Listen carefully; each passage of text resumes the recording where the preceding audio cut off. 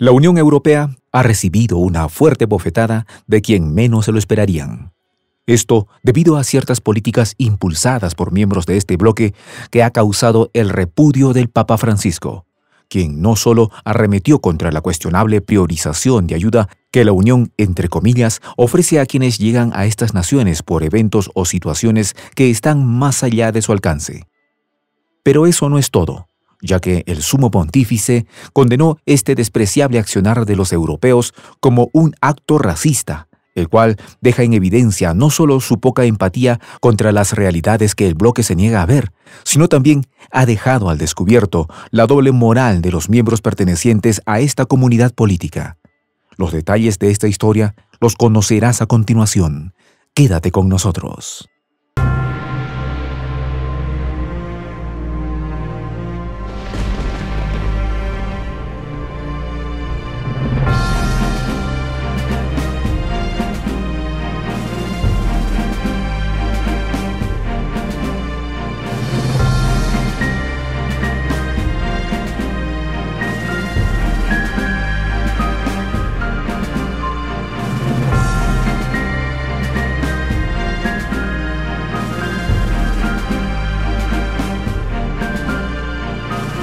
Voz de la Patria Grande. El sumo pontífice ha lanzado tajantes críticas contra las selectivas políticas de ayuda ejercidas por la Unión Europea, quienes han dejado a la vista de la comunidad internacional una doble moralidad que ha sido fuertemente cuestionada por el Papa Francisco. Ahora bien, Cabe señalar que esta no sería la primera vez que el líder del catolicismo realiza señalamientos directos con respecto al accionar del bloque europeo. Sin embargo, parece que sus miembros continúan haciendo oídos sordos a los llamados de atención realizados por el sumo pontífice. No obstante, las últimas decisiones aprobadas por diversos miembros de la Unión Europea, además de sus condenables comentarios, han causado una evidente molestia del Papa Francisco, quien recientemente condenó las evidentes y cuestionables preferencias de la Unión Europea en materia humanitaria. De esta manera, el Papa Francisco no solo lamentó que los países europeos reciban con los brazos abiertos solo a personas provenientes de determinadas zonas geográficas, mientras hacen la vista gorda con aquellos provenientes de zonas altamente conflictivas y necesitadas. Así pues, el líder católico cuestionó la adopción de clases con el objetivo que el bloque europeo pueda priorizar la ayuda con sus entre comillas iguales, mientras mantienen en espera a quienes carecen de sus cuestionables requisitos básicos para recibir una respuesta inmediata. Los desplazados se dividen en primera y segunda clase señaló el sumo pontífice, quien posteriormente agregó, se dividen según su color de piel, de país que provienen y si la nación es desarrollada o subdesarrollada. Pero eso no es todo, ya que posterior a estos señalamientos contra las condenables políticas adoptadas por los miembros de la Unión Europea, el Papa Francisco tajantemente expresó, somos racistas y esto es malo. Ahora bien, no está de más señalar que estas críticas realizadas por el líder católico son posteriores a las numerosas declaraciones realizadas por diferentes miembros del bloque europeo, quienes han dejado en evidencia la falta de empatía de esta comunidad política. Así pues, cabe recordar las declaraciones realizadas por el líder del partido político Vox, Santiago Abascal, durante el Congreso de Diputados de España, donde señaló que los ciudadanos que se han desplazado desde el este sí deben ser admitidos en el bloque. Los ciudadanos provenientes del este deben ser acogidos por Europa, aseguró Santiago Abascal, quien además arremetió contra los desplazamientos realizados por otras razas, a quienes inclusive calificó como invasoras. En esta misma línea también pueden citarse las controvertidas afirmaciones realizadas por Kirill Petkov, el ministro de Bulgaria, quien expresó que, a diferencia de quienes conforman los desplazamientos de otras naciones, los ciudadanos del Este sí son personas inteligentes y educadas.